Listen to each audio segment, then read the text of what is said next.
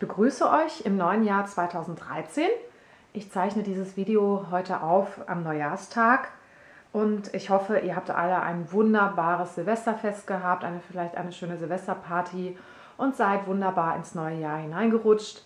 Äh, ich selber kann sagen, ich bin wunderbar reingerutscht. Ich war auf einer wunderschönen göttlichen Party, fand ich. Viele Göttinnen äh, haben dort äh, zusammen mit mir getanzt und ähm, das war einfach eine wunderbare Atmosphäre und ja, also ich bin sehr gut rübergekommen, habe viel Freude gehabt äh, auf dieser Party, auch im Vorfeld schon am Silvestertag. Und ja, es geht mir sehr, sehr gut, merke ich. Ich bin sehr glücklich und zufrieden und freue mich, das Alte abgestreift zu haben und das Neue jetzt zu begrüßen. Und ich habe auch natürlich, wie ihr auch sicher, viel Hoffnung in 2013 und habe das Gefühl, ich erwache aus einem bösen Traum, als wenn jetzt einfach so ganz viel Elend äh, endlich zu Ende geht und einfach das Neue jetzt kommt und äh, wenn auch unruhig wird, aber doch ähm, uns mit den Neuen überschwemmt.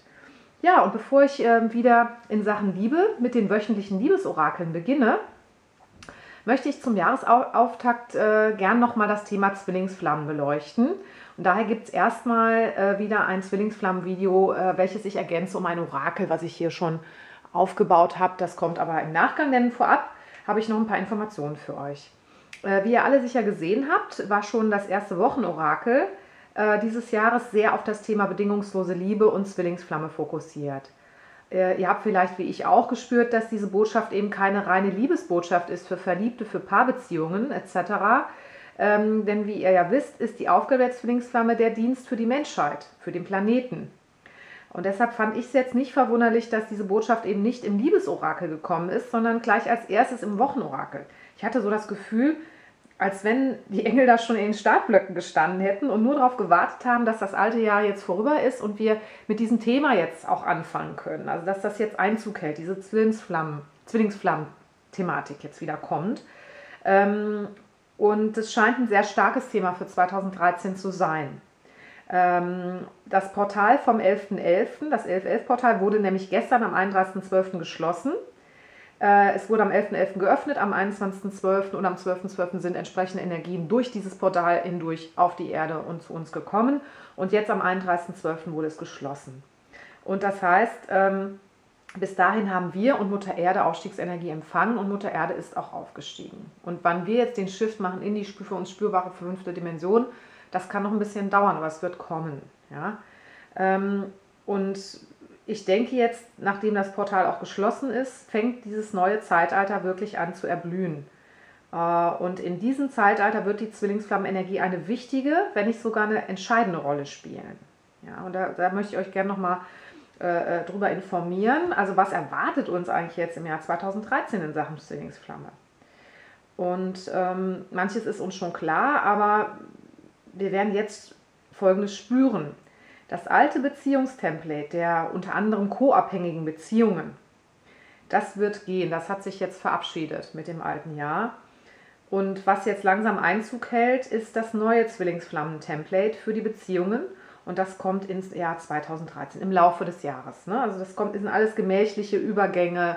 Äh, das Alte schleicht sich aus, das Neue kommt langsam rein. Also das, das werden wir übergangsweise merken, immer mehr. Ja? Da kommt nichts abrupt von heute auf morgen. Äh, und die Grundlage dafür, für dieses Zwillingsflammen-Template, ist eben das Gleichgewicht zwischen männlich und weiblich, sowohl in uns selbst als auch zwischen den Geschlechtern, also auch in den Paarbeziehungen, sollte es einen Ausgleich geben zwischen männlich und weiblich. Ja, also keine Dominanz des einen über das andere, äh, sondern wirklich ein, äh, ein Gleichklang. Und dadurch ergibt sich auch die Trinität. Das hatten wir im Orakel vom 21.12. Die Trinität also die Vereinigung des männlich-weiblichen äh, äh, mit dem Göttlichen oder des Vaters, der Mutter und des Kindes. Das sind so die Bedeutungen dieses Dreiecks der Trinität, wie man es auch immer sehen möchte. Und das ist die Grundlage für die heilige Verbindung, um die es beim Zwillingsflammen-Template geht. Also die Grundlage wurde schon geschaffen. Und äh, wie ihr vielleicht auch feststellt, so in eurem Umfeld bei euch selbst, in eurem Leben, viele Menschen sind in diesen sehr transformatorischen Zeiten sehr aufgewühlt. Ja? Sie verlieren ihren Job, die Liebe ihres Lebens zum Teil. Also viele Beziehungen brechen auch auseinander. Äh, obwohl sie zumindest äh, bisher dachten, das wäre die Liebe ihres Lebens oder ein, wunderbarer Partner für sie. Ähm, und das klingt für viele natürlich wie so ein Untergang, hat was sehr Bedrohliches. Aber man kann klar sagen, das ist einfach nur die Reinigung des Alten, des alten Paradigmas, dessen, was nicht mehr wirklich stimmt, ja, was nicht absolut stimmt, das wird auch das nicht überstehen. Und die Ausgangsbasis, die wir darstellen, die wird jetzt einfach gereinigt. Und zwar für dieses neue Zwillingsflammen-Template. Ja? Ähm, und alles, was noch in der alten Frequenz schwingt oder schwang, äh, in der dreidimensionalen Frequenz, und was nicht mehr in Harmonie mit dem neuen Template ist, das muss jetzt gehen. Und da gibt es keinen Kompromiss zwischen dem Weg ins Licht oder ins Dunkle. Das ist diese Entscheidung, die am, zwischen dem 21.12. und ich denke gestern getroffen werden musste. Will ich ins Licht oder will ich ins Dunkle? Wir müssen uns entscheiden. Und äh, den Mittelweg gibt es nicht mehr. Und das heißt auch, das, was noch zum Dunklen oder zum Dreidimensionalen gehörte, das ist dann auch für uns nicht mehr greifbar. Und das bricht zusammen unter uns. Die Energie geht raus, damit wir in die wunderbare Energie hineinkommen können. Aber das bedeutet auch, dass das, was das äh, getragen hat, noch die dreidimensionale Energie, die das Alte noch getragen hat, jetzt auch zusammenbricht und kein Fundament mehr bietet für das Alte. Ja? Und deshalb brechen jetzt viele Dinge zusammen. Ähm, was auch hinzukommt, ist, äh, bisher wurden eben viele Begegnungen und Beziehungen durch Karma vordefiniert. Ähm, es war also fast schon vorgegeben, mit welchen Seelengefährten wir äh, in unserem Leben karmische Fehler auszugleichen haben, wie das ungefähr auch äh, orchestriert wird, äh, in etwa, wie da die, ungefähr die Timings sind, was so zusammenfallen muss, damit wir das tun können. Und mit dem Wegfall des Karmas äh, kommt jetzt eine neue, viel, viel höher schwingende Möglichkeiten auf uns zu. Ja, also wir haben dieses Karma nicht mehr. Also vorher hat Karma für uns orchestriert, wie unsere Begegnungen und möglichen Beziehungen sein können, weil wir da was aufzuarbeiten haben. Das ist jetzt gar nicht mehr in 2013 das Thema in unseren Beziehungen. Jetzt inhaliert mal diesen Gedanken, ja, also wenn man sich damit befasst, was das für eine Befreiung ist und deshalb auch das Thema Freiheit, auch in Beziehungen, ist wirklich diese Befreiung von Karma. Ja, diese Freiheit, nicht immer nur Lasten zu tragen, immer nur Lasten auszuräumen. Ja, das was mit alles was mit Krankheit, Betrug, äh, ähm, was weiß ich, was für schweren Belastungen zu tun hat, das wird jetzt nicht mehr der Gegenstand und Motor der Beziehungen sein, der Unbewusste natürlich. Wir wussten das ja nicht mal alles.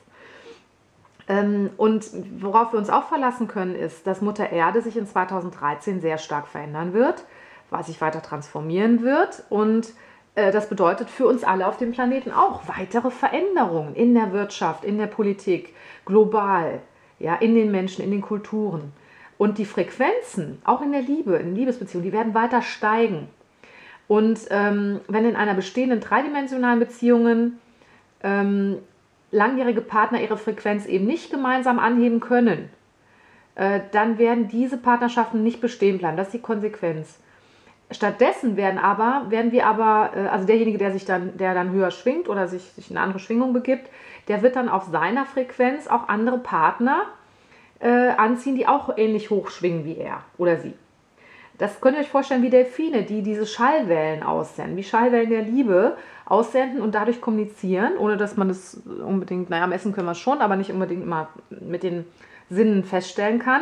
Und dadurch werden auch andere Partner angezogen. Und eben nicht mehr nach Karma. Überlegt mal, was das heißt. Ihr zieht jetzt die Menschen an, die ja auf eure Schwingung, auf eure Lichtschwingung reagieren und nicht mehr die, die euch karmisch primär zugetan sind. Ja? Und ähm, diejenigen, die von dieser außergewöhnlichen Frequenz angezogen werden, sind auch nicht mehr eben diese normalen karmischen oder Seelengefährten, sondern ähm, es wird eine hochfrequente Norm geben für diese viel höheren Seelenverbindungen, die dadurch entstehen, durch diese Begegnungen. Und das äh, wird dargestellt und abgebildet von sehr hochschwingenden Seelengefährten und Zwillingsflammen. Und äh, dadurch entsteht, ja, wird bewegt dieses neue Template, das Zwillingsflammen-Template. Äh, und ihr werdet auch feststellen in 2013, dass die spirituelle Arbeit, die ihr in euren Zwillingsflammen-Beziehungen schon in den Vorjahren geleistet habt, von anderen jetzt auch bemerkt wird in eurem Umfeld. Die anderen beginnen zu spüren, was ihr ausstrahlt. Ihr werdet immer häufiger von anderen darauf angesprochen, dass ihr etwas Besonderes für sie ausstrahlt. Wir haben Schwierigkeiten, das so zu formulieren, aber sie spüren das. Sie spüren eine besondere Energie, eine liebevolle Art, die ihr habt. Anders können sie es nicht nennen. Sie nennen vielleicht noch weitere positive Eigenschaften, die ihr habt. Und ihr seid selber vielleicht verblüfft, wie die das wahrnehmen, was es vorher vielleicht nicht gegeben hat. Sie merken Dinge, die äh, beschreiben, wie stark ihr seid und wirkt und wie ihr zu einer Art Leuchtfeuer für andere werdet. Ja, also ich habe das letztens erlebt ähm, auf einer Party, dass da wirklich äh, mich Personen angesprochen haben, äh, auf solche Dinge, die, die ganz normale Menschen waren, die aber einfach, also es waren auch Männer in dem Fall, jetzt nicht Frauen, die einfach sagten, ich spüre da einfach was. Und das ging jetzt hier nicht um, um Liebesbeziehung oder so, hatte damit nichts zu tun, aber es war einfach, die merkten, da ist irgendwas anders. Und auch im positiven Sinne, also positiv anders. Und ähm, dass man eine andere Ausstrahlung hat, die interessant war für diese Menschen. Und das, deshalb denke ich, dieses, auch dieses Radiance äh, äh, und Ausstrahlungsthema, was wir haben, dieses Stadium, wo wir einfach Dinge ausstrahlen. Und das wird immer mehr jetzt auch höher frequent passieren. Ähm, also diese anderen Menschen werden sehr stark davon äh, angezogen oder es wird ihr Interesse an euch sehr stark angeregt, äh, weil sie eben für diese hochschwingenden Energien schon empfänglich sind und damit auch stark in Resonanz gehen. Ähm, und ich denke, in 2013 wird diese Auswirkung dieser Ausstrahlung noch zunehmen. Ja? Ihr seid quasi wie so ein Diamant, den ihr selber mit Gottes Hilfe und Liebe geschliffen habt. Und der fängt jetzt an zu funkeln und zu strahlen. Ja? Also der hat jetzt Schliff bekommen. Und andere sehen dieses Funkeln ja? und finden das natürlich toll. Ähm, und das Zwillingsflammen-Template steht also für den spirituellen Aufstieg. Das ist eigentlich, kann man gleichsetzen damit. Also der spirituelle Weg und der spirituelle Aufstieg kann man gleichsetzen auch mit der Zwillingsflammen-Dynamik äh, und, und dem Template, also dieser, dieser bedingungslosen Liebe. Und das bedeutet, äh, wir entwickeln uns von der dreidimensionalen, verstandesbetonten Liebe hin zur fünfdimensionalen, herzzentrierten Liebe, also quasi zur Herzöffnung. Alle Entscheidungen werden, wenn wir das haben, diese Herzöffnung, diese herzzentrierte Liebe, dann entscheiden wir alles aus dem Herzen, mit unserer Intuition, mit unserem Gefühl, mit unserem Bauchgefühl. Ja? Und das sind auch, auch sehr weibliche Energien. Äh, die das ermöglichen, ob für Männer oder für Frauen, vollkommen egal. Ja, aber das wird der Inhalt gerade auch in Beziehungen sein. Das wird unser ganzes Leben bestimmen, aber auch in Beziehungen wird sich das ändern.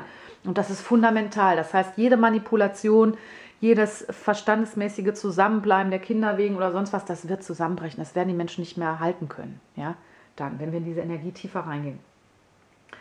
Und nach dem Aufstieg, also in 2013, äh, kann das äh, dreidimensionale Template nicht mehr existieren ähm, weil es eben sehr eng mit unseren alten Glaubenssätzen zusammenhängt. Äh, wir kriegen quasi so ein Rebooting.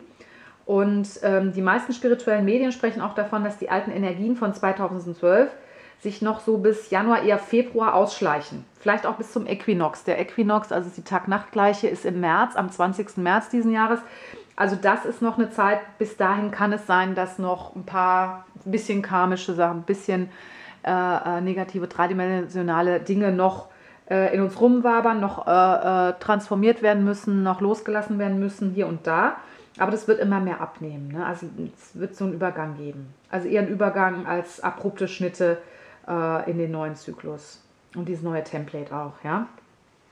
Und während die Reste des alten Paradigmas gehen, äh, spürt ihr vielleicht schon die neuen Anzeichen des Lichtes und der Liebe in euren Beziehungen. Für viele Menschen ähm, vor allen Dingen in den letzten von mir zitierten Channelings, äh, war ja die äh, Rede von Millionen Zwillingsflammenpaaren, die irgendwann, wir wissen jetzt nicht den Zeitpunkt, ich denke, das hängt noch von einigen anderen Faktoren ab, wann das so ist, unter anderem ja auch der Landung der äh, galaktischen Flotte. Ähm, für viele Menschen steht ja hier auf der Erde noch die Begegnung mit ihrer Zwillingsflamme bevor. Ja? Und ähm, wovon man auch ausgehen kann, ist, dass eben Millionen Menschen durch diese Begegnung mit ihrer Zwillingsflamme erstmal aktiviert werden, auf eine besondere Art, eben für dieses Template, ja. Und das passiert nicht über Nacht ähm, und nicht jeder wird diese Energieerhöhung sofort spüren. Ja, und bitte beachtet auch, die Aufgabe der Zwillingsflamme ist in neun von zehn Fällen, dass sie der Menschheit und dem Planeten helfen sollen, durch die Liebe, die sie ausstrahlen, da sind wir wieder beim Ausstrahlen, und die sie, die sie an andere strahlen, aber eben nicht durch dadurch, dass die Zwillingsflammen miteinander eine Liebesbeziehung oder eine Romanze leben und ja, etablieren, dann werden sie auch zu sehr auf sich selbst fokussiert. Sie sollen die, diese Energie an andere Leben, Lebewesen abgeben, sie sollen diese Lebewesen aufwecken. Ähm, das ist eigentlich die Aufgabe. Ja? Also das ist extrem wichtig. Ja? Ähm, und durch diese Verbindung, die aktivierte Zwillingsflammen eingehen, und die kann energetisch sein. Also denkt bitte dran, wenn man von Verbindung redet, das muss eben nicht eine Verbindung sein im Sinne einer klassischen alten Paradigma-Beziehung, sondern es ist eine Verbindung, die ja besteht telepathisch in Träumen. Ähm, manchmal physisch, wenn es möglich ist, aber hauptsächlich energetisch. Und ähm, was ich interessant finde, ist, dass auch diese energetische Verbindung dazu führt, dass äh, äh die in der DNA aktivierten Skills und Fähigkeiten, die wir aus früheren Leben noch haben, in uns haben, die uns aber nicht bewusst sind oder zu denen wir noch keinen Zugang haben, das wird auch in 2013 immer stärker werden. Äh, diese ganzen äh, göttlichen Geschenke, die wir bekommen, halt, wie eine Hellsichtigkeit oder andere Wahrnehmung, Fähigkeiten, Telepathie, dass die ähm, zunehmen und das äh, wird durch die Zwillingsflammen noch stärker ähm, ja, forciert eigentlich. Das kann auch Heilen mit den Händen sein, weil sie vielleicht früher nicht konnten und auf einmal könnt ihr das tun und merkt, dass das funktioniert. Ja, und das passt auch gerade zu der Karte Gesundheit und Heilung im Zusammenhang mit der Zwillingsflammenkarte im Wochenorakel. Ja, ähm, ja und das, das, Ding ist halt, die Zwillingsflamme äh, ist dazu da, das göttliche Licht, die göttliche Liebe durch die Verbindung der beiden Zwillingsflammen auf den Planeten zu bringen und dort nach außen in die Menschen, in die Tiere, in den Planeten, in die, in die Natur zu strahlen und die Natur und alles, was ist, zu heilen. Ja, ähm, und es gibt schon jetzt sehr viele Menschen mit einem Zwillingsflammen-Template. Ähm, und es ist auch wichtig, dass es auch nicht nur Zwillingsflammen sein müssen, äh, die diese Liebe bereits gegenüber anderen ausstrahlen, äh, damit diese einfach von dieser Liebe überschwemmt werden. Ja, und damit wirklich diese liebevolle Zusammenarbeit auf dem Planeten weltweit zwischen den Menschen auch stattfinden kann. Das wird sukzessiv voranschreiten. Ähm, und die Liebe ist eben das, was diesen Planeten heilen wird, was ihn zu der neuen Lebensweise führen wird, von der wir alle träumen, auf die wir warten. Und wir müssen es gestalten, wir müssen es leben. Ohne Angst, ohne Schrecken, ohne Gier, ohne Egoismus, sondern in bedingungsloser Liebe für alles, was ist. Und das gilt eben nicht nur für den Partner, sondern wirklich die Menschen um uns herum und die Natur.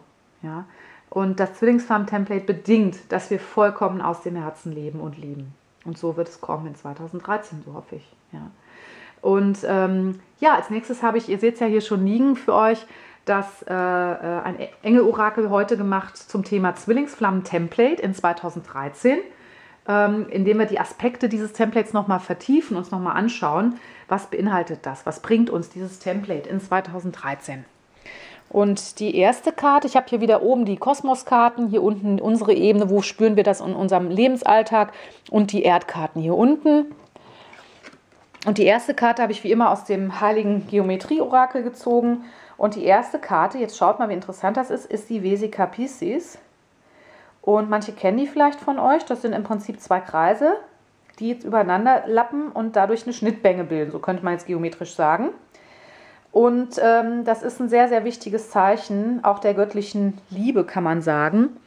Äh, und es ist eigentlich, und ich nehme gerade mal eine andere Karte dazu, Ihr erinnert euch an das Orakel vom 21.12. Da war eigentlich die Vesica Piscis auch schon ge, äh, ja, gezeigt. Es ging hier mehr ums Dreieck, aber das ist das Gleiche. Ja, das männliche, weibliche und das göttliche gehen zusammen zu dieser Trinität. Kann auch heißen, das männliche verschmilzt mit dem weiblichen und es entsteht etwas Drittes oder verbindet sich mit dem Dritten. Ja, und das, äh, das ist so ein bisschen hier angelegt. Und die Vesica Piscis zeigt eben ja noch einen anderen Aspekt mit hinein und den will ich euch jetzt mal eben vorlesen. Da, einen kleinen Moment, bis ich das gefunden habe.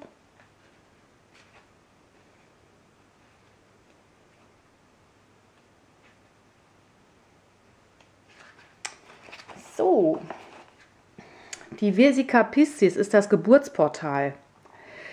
Die Zahl 2 wird durch die Vesica Piscis zur Schöpfung, hier durchdringen sich zwei Kreise oder Kugeln, die jeweils ein Ganzes darstellen und wiederum zu einem Geburtsportal werden.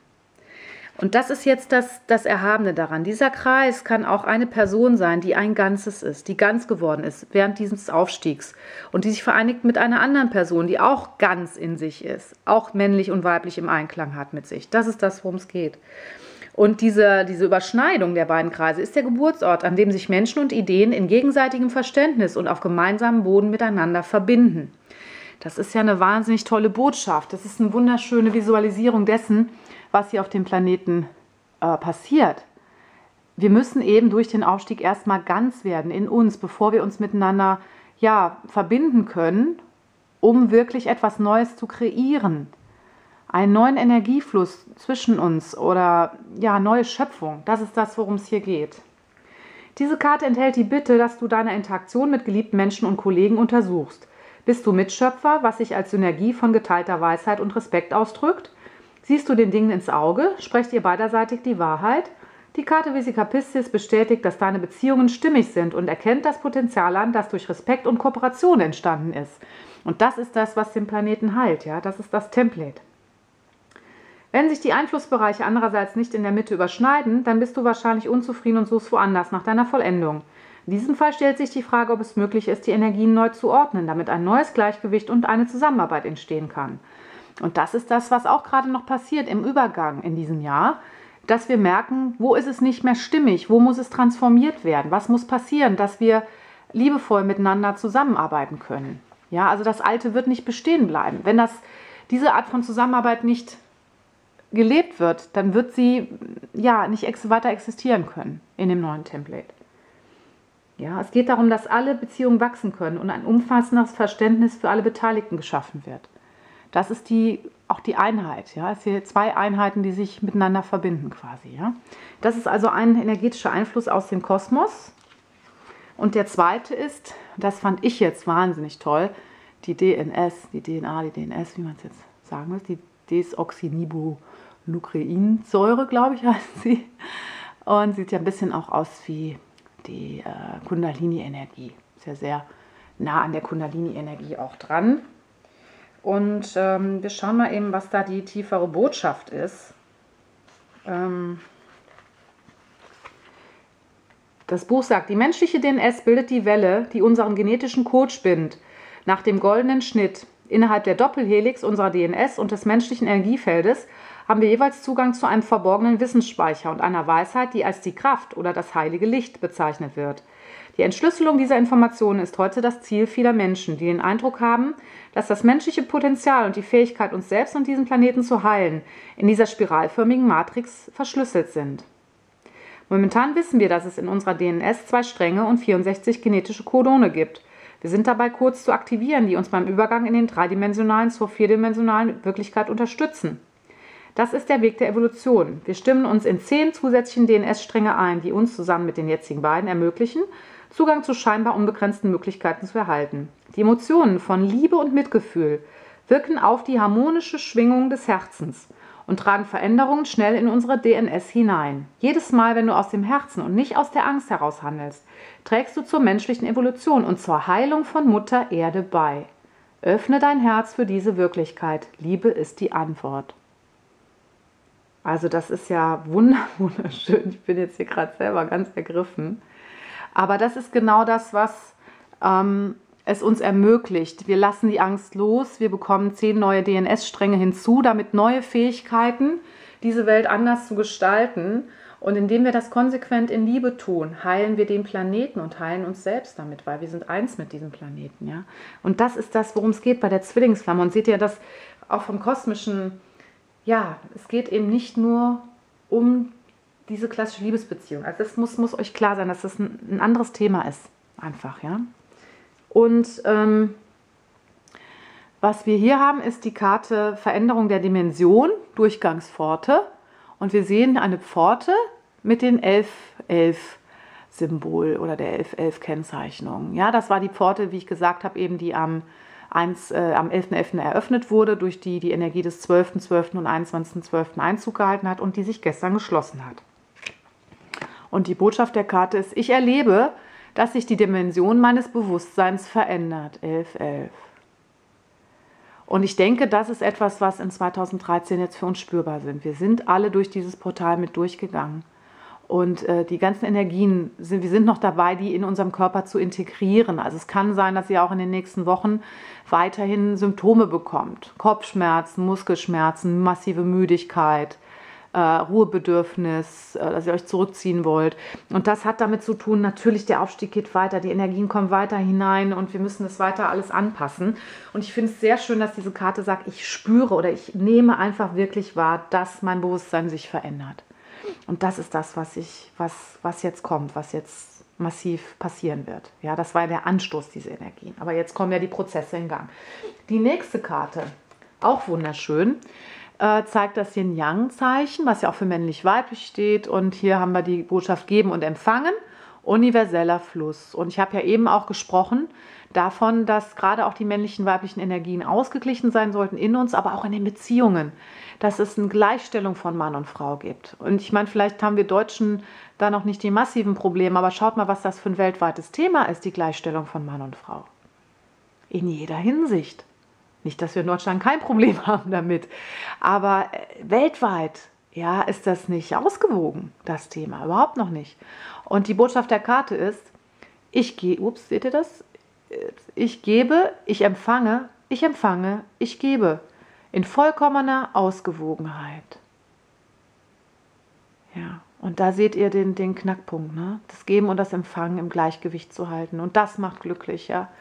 Wenn ihr das mal inhaliert, den Gedanken, das macht wirklich glücklich. Ja, ich gebe und ich empfange, ich bekomme das zurück, was ich will. Und überlegt mal, wie viele Beziehungen auch unglücklich sind oder gar nicht erst entstehen, weil da gar kein Geben und Empfangen ist für beide Seiten, weil es irgendwie nicht passt. Wenn es gar nicht passt, soll es nicht sein, dann ist es so, aber ähm, es ist krank, in einer Beziehung hängen zu bleiben, wo das so massiv im Ungleichgewicht ist, denke ich. Und das wird einfach geheilt im kommenden Jahr. Das wird einfach anders werden. Aber es wird rumpelig werden. Bis dahin wird viel passieren. Also es wird nicht, nicht nur harmonisch abgehen. Ja, wir kommen auf die mittlere Ebene hier, äh, wo es äh, um die Engelbotschaften geht, äh, was uns erwartet. Und da haben wir hier einmal die Botschaft aus dem äh, Osho-Tarot. Das ist auch eine wunderschöne Karte, Reife. Könnt ihr das so sehen, Reife. Und äh, wir sehen hier reife Früchte, die vom Baum runterhängen äh, und schon runterfallen, kann man sagen, genau wie mir gerade das Buch runtergefallen ist. Paul auch reif. Ähm, und ja, und ihr seht, es ist jetzt Zeit zu ernten. Ja, wir haben jetzt wirklich auch beim Thema Zwillingsflamme viel gearbeitet an uns. Ja, wir sind gereift, wir haben viel verstanden, viel an uns gearbeitet und wir fallen jetzt vom Baum, weil wir reif sind für das Neue. Ja, das ist das Ende des Reifungszyklus. Das beendet jetzt und vielleicht kommt jetzt was Neues. Mal schauen. Aber auf jeden Fall sind wir reif. Die Früchte sind reif, jetzt geerntet zu werden. Also wir kriegen jetzt auch das, wo, wonach wir uns gesehnt haben, all die Jahr, Jahrtausende, möchte ich mal sagen. Ja. Und die zweite Karte ist die Karte Blühen. Und jetzt überlegt mal, was da noch in dem äh, Orakel der Woche war. Da war das Thema die Karte Erblühen. Und die scheint sehr zusammenzuhängen, auch mit dem Zwillingsflammenthema, habe ich jetzt so langsam das Gefühl. Und ihr seht hier auf so einer Lotusblüte auf einem Wasser, der Wasser der Emotionen, sitzt eine meditierende Göttin, möchte ich sie mal nennen, mit fließenden Gewändern in wunderschönen Farben. Und sie ist umgeben von so einer Aura irgendwo. Ähm, und sie ist ganz ergeben. Und das Thema ist, wie gesagt, Blühen. Und ich muss mal gerade im äh, Buch schauen. Ganz klar, Moment, das kann jetzt ein bisschen dauern. Ich habe es nämlich nicht zurechtgelegt. Hm, ich mache mal kurz aus. Interessanterweise haben wir hier die Königin der Regenbogen. Äh, das Buch sagt, im Zen geht es darum, dass du in der Fülle lebst, total lebst, intensiv lebst.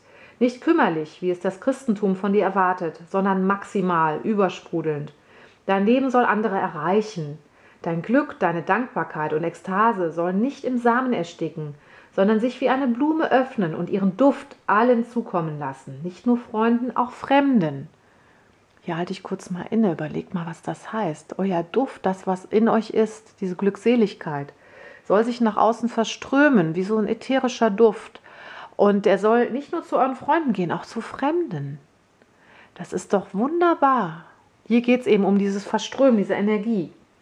Und der Text geht weiter. Das ist echtes Mitgefühl. Das ist wahre Liebe. Deine Erleuchtung mit anderen zu teilen. Andere an diesen Tanz des Jenseitigen teilhaben zu lassen.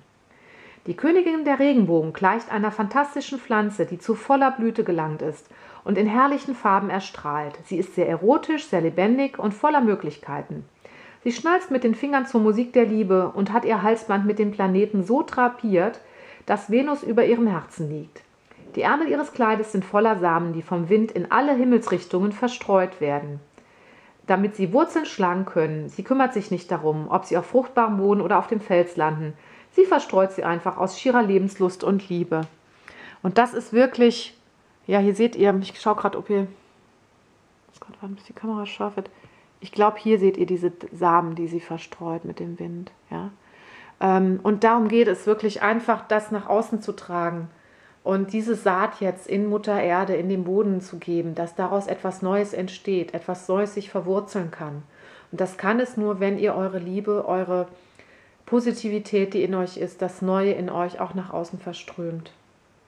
Ja, und die anderen spüren das, die anderen werden das merken, dass etwas anders ist und sie werden es aufnehmen, weil sie es brauchen. Und ihr könnt es verankern in der Welt. Der Text geht noch weiter. In Harmonie mit ihrem eigenen Blühen wird sie von oben mit Blüten überschüttet. Und unter der Blume, auf der sie sitzt, sprudelt spielerisch das Wasser der Gefühle. Vielleicht fühlst du dich zurzeit wie ein Blumengarten, der mit Segen überschüttet wird. Lass die Bienen und die Vögel von deinem Nektar trinken, teile deine Freude mit allen. Na, ist das nicht schön? Dem mag ich nichts zurück äh, hinzufügen wollen. Das ist äh, unglaublich. Und was für ein schönes Bild und prägt euch das mal ein. Und das ist diese, dieses innere Sein, ja, was uns erwartet. Das ist das Template, was wir weitergeben. Ja. Das ist unsere Aufgabe. Und ich denke, das kriegen wir hin, oder? Die zweite, äh, zweite Karte, eine Karte äh, aus dem Orakel The Map, äh, Karten der Seele. Da haben wir den goldenen Palast. So, jetzt guckt euch mal an, was das für ein Palast ist. Der ist golden, der ist von einer Kuppel umgeben, beziehungsweise dahinter ist ein Planet, so ist es. Und äh, auf einem wunderschönen Felsen thront dieser wunderbare Palast. Ja.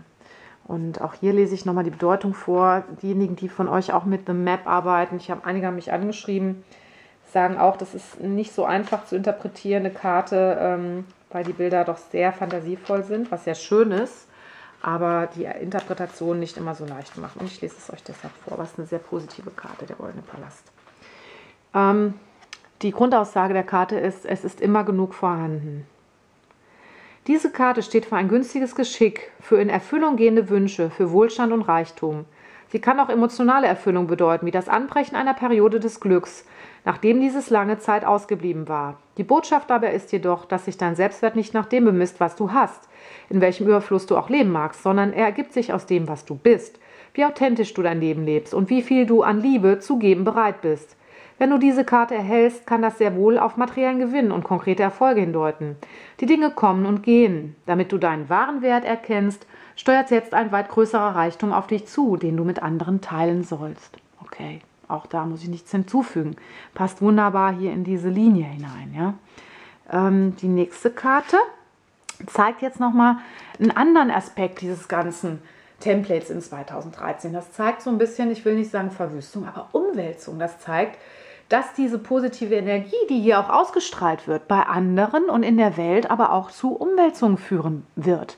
Denn das Alte muss jetzt gehen. Das, wirklich die alten Bauten der alten Dimension, die müssen jetzt weichen.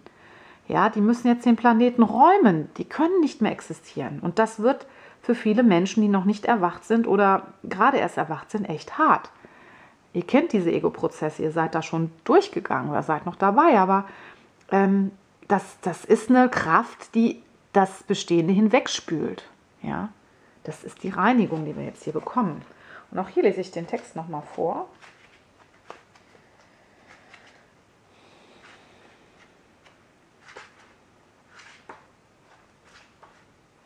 Das ist die Karte Das Feld der Stürme. Auch dies wird vorübergehen, sagt die Karte. Das ist ja zumindest beruhigend. Du befindest dich inmitten eines unerquicklichen Durcheinanders. Dinge, die du vernachlässigt hast, können Konflikte bewirken. Aufgestaute Energie muss sich entladen, so wie in der Natur unter bestimmten Bedingungen ein Gewitter losbricht. Solche Phänomene treten auf, wenn die Spannungsenergie zwischen entgegengesetzten Kräften die Dinge auffühlt und vorübergehend für Unordnung sorgt. Aber nicht alle Stürme sind zerstörerisch, vielmehr erfüllen sie in der Natur eine nützliche Funktion, indem sie dem Boden Regen bringen, mit dem Wind, der durch die Bäume fährt, den Samen weit umhertragen und so für ein Moment, beständiges Gedeihen sorgen. Bedenke einfach, dass jeder Aufruhr in dir und zwischen dir und anderen Menschen dir zukünftig zugutekommen wird. Die Sonne wird wieder scheinen und etwas Neues wird zu wachsen beginnen. Und fürchte dich nicht davor, die Dinge ein wenig aufzumischen. Rebellion. Ja? Also das wird, wird bunt werden in diesem Jahr. Ähm, die nächste Karte ist aus dem, Engel, äh, aus dem Orakel der Liebe von Toni Camazzolano. Und auch da ist die Botschaft sehr eindeutig und diesmal mit dem wunderschönen Bild schon zu erfassen. Es ist die heilige Verbindung. Ja? Das ist das, was uns erwartet, auch mit dem Template. Das ist natürlich auch ein Aspekt dessen, worum es geht. Ja? Ich auch hier, lese auch hier nochmal die Bedeutung der Karte vor. Was jetzt noch Freundschaft ist, wird sich schon bald zu einer heiligen Verbindung entwickeln.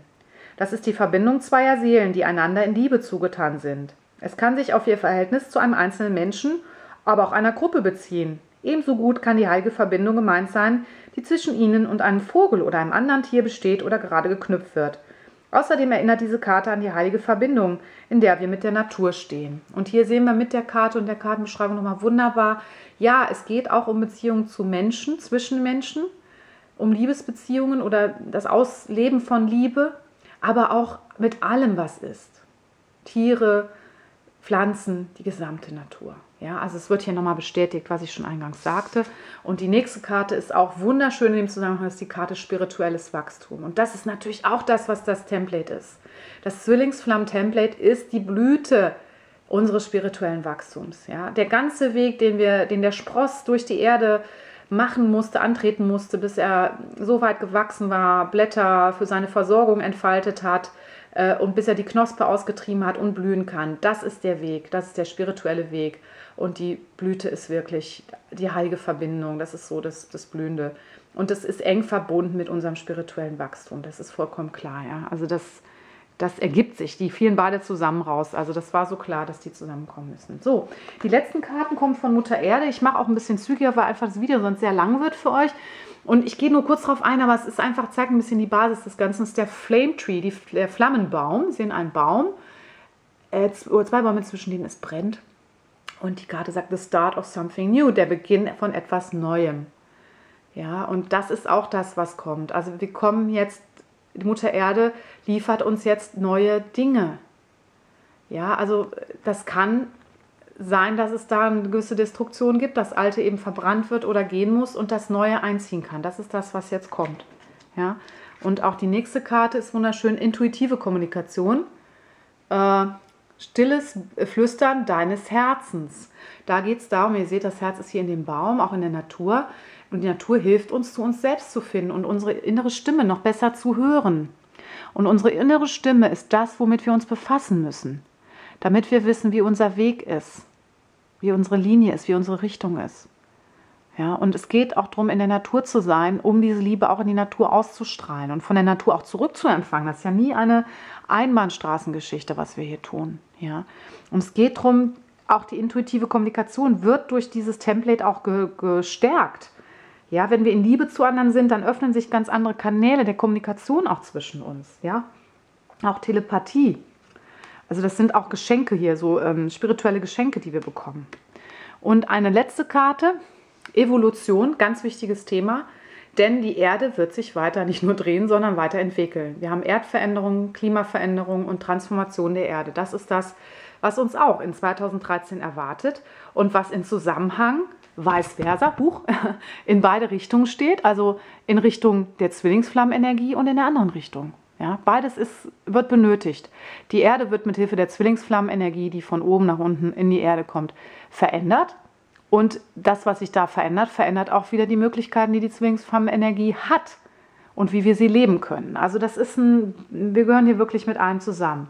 Ja, und ich hoffe, ihr habt einen guten Eindruck bekommen, was in 2013 mit dem Thema eigentlich zusammenhängt. Nochmal eine neue Information. Und wie gesagt, ab nächste Woche geht es, denke ich, dann mit den Liebesorakeln weiter. Aber ihr merkt auch, ich bin auch im Moment sehr kreativ drauf.